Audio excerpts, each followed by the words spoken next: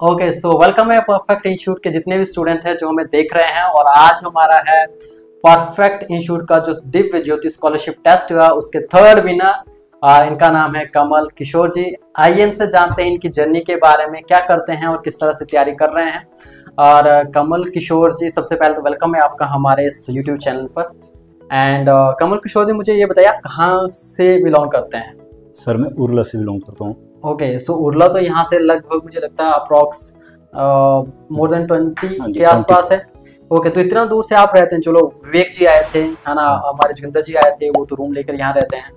तो वो उनकी स्टडी भी यहीं से हुई है। तो क्या आपकी भी स्टडी यहीं जोगिंदर से हुई है? सर मैं आई टी आई की है बेजना से। अच्छा आई टी आई बेजना से आपने हाँ की है। तो और- अभी आपकी आई टी आई कंप्लीट है। हाँ जी और graduation private okay graduation private की है। ओके ग्रेजुएशन प्राइवेट किया आपने।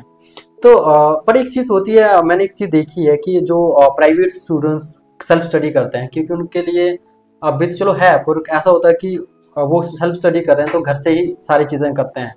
हम्म। तो क्या आपको ऐसा कभी फील नहीं हुआ कि यार कंपटीशन है ही नहीं मैं ही सेल्फ स्टडी कर रहा हूँ कि कंपटीशन है?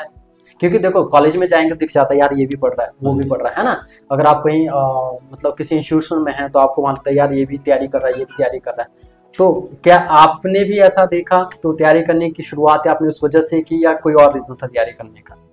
नहीं सर कोई और चाहता ओके तो रीजन आप शेयर कर सकते हैं हमारे साथ? सर रीजन क्या मतलब घर वाले फोर्स करते हैं कि स्टडी करो। अच्छा। ओके तो अ, कमल जी आप मुझे ये बताओ कि अच्छा तो आपने आईटीआई की आईटीआई के साथ आपने प्राइवेट ग्रेजुएशन हाँ कर ली है कि अभी चल रही है? हो गई है सर। हो गए तो आप इतने दूर से यहाँ पर मतलब रहते हैं यहाँ रूम लेकर के हाँ रहते हैं? सर। तो आप सेल्फ स्टडी जो कर रहे हैं वो कब से कर रहे हैं? दो ईयर हो गए। ओके दो साल हो गया आपको। तो दो साल से आप सेल्फ स्टडी कर रहे हैं तो दो साल से सेल्फ स्टडी करते करते क्या आपने पहले भी मॉक टेस्ट दिए हैं ये पहली बार ही मॉक टेस्ट था आपका? मैं सर पहले भी दिया पहले भी दिए हैं। हाँ। ओके चलिए तो इसका इट मीन्स आपको लगता है कि अगर हम मॉक टेस्ट देंगे तो हमारे लिए ज़्यादा अच्छा है। हाँ जी सर ओके सो तो आप मुझे ये बताएँगे आपका जो स्कूलिंग हुई है प्लस टू तक वो आपकी वहीं पर हाँ लोकल उर्ला में हुई है। हाँ। ओके सो आपको क्या सोचते हो कि कंपटीशन ज़रूरी है या नहीं है? ज़रूरी है सर कंपटीशन किस वजह से ज़रूरी है? सर बिना कंपटीशन के पता नहीं चला कि कहाँ पर परफॉर्म करेगा आप। हाँ बिल्कुल। कंपटीशन जैसे पता होता है कि कंपटीशन कर रहे हैं तो हमें ये पता चलता है कि अच्छा अगर ये हो रहा है तो मुझे इतना और करना है राइट हाँ। ये सारी चीज़ पता नहीं चलता है ना? एवोल्यूशन का। ओके सो एक और चीज़ मुझे बताइएगा कि अ, आप स्पेशली कोई पर्टिकुलरली कोई एक स्पेसिफिक एग्ज़ाम की तैयारी कर रहे हैं कि कोई भी एग्ज़ाम आ जाएगा उसकी तैयारी कर कोई भी एग्ज़ाम कोई भी एग्ज़ाम जो आ जाए। ओके okay, वैसे एग्ज़ाम काफ़ी टाइम से आ नहीं रहे हैं बट हाँ अगर कोई भी आएगा तो उसके लिए तैयारी कर रहे हैं। बट मुझे ऐसा लगता है कि अगर आपने हमारे वाले टेस्ट में अगर आपने थर्ड पोजीशन हासिल की मीन्स आपका लेवल बहुत अच्छा है।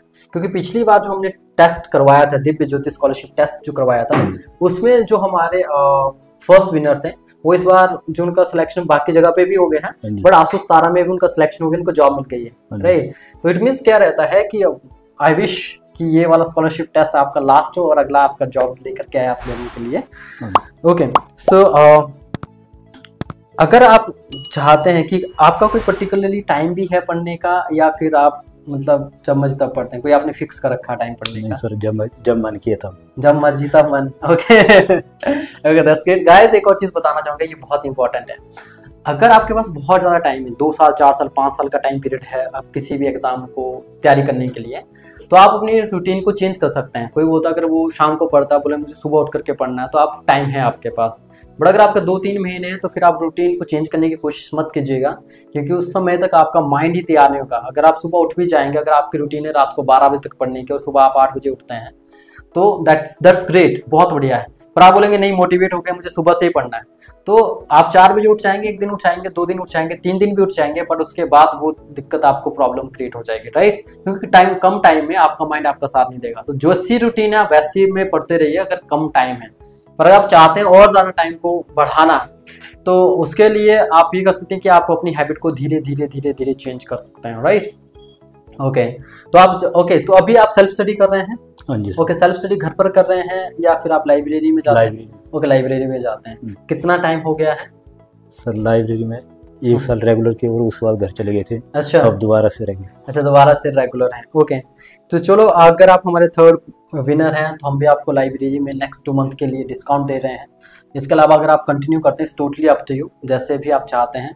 और आई विश कि आप आने वाला जो भी एग्ज़ाम होगा उसमें आप ज़्यादा अच्छा और अच्छे से परफॉर्म करें पर तैयारी करते रहिएगा because competition is very high है ना? हाँ बहुत ज़्यादा हाई है तो तैयारी तो करते रहना पड़ेगा ऐसा। अगर हमारी तरफ़ से कुछ भी सपोर्ट चाहिए हम आपको हमेशा हेल्प करने के लिए तैयार हैं। अगर आप अकेडमी में आते हैं कोई कंसेप्ट क्लियर नहीं तो हम आपको टीचर्स जो रहते हैं वो आपके कंसेप्ट को क्लियर करवाएँगे ठीक है? ओके सो गाइस ये थे हमारे साथ कमल किशोर और ये हैं थर्ड विनर बाकी विनर्स जो रहेंगे जो अगले नेक्स्ट इलेवन विनर्स हैं वो भी मैं आपको उनसे भी मिलवाऊँगा। So thank you so much for watching us और अगर आप चाहते हैं कुछ और भी डिटेल तो आप दिए गए नंबर पे कॉल करें या फिर हमारे परफेक्ट इंस्टीट्यूट को भी विज़िट कर सकते हैं। अगर आप आसपास के इलाके से हैं तो नहीं तो आप ऑनलाइन भी हमें कॉल करके पूछ सकते हैं। So thank you so much again Kamal ji thank you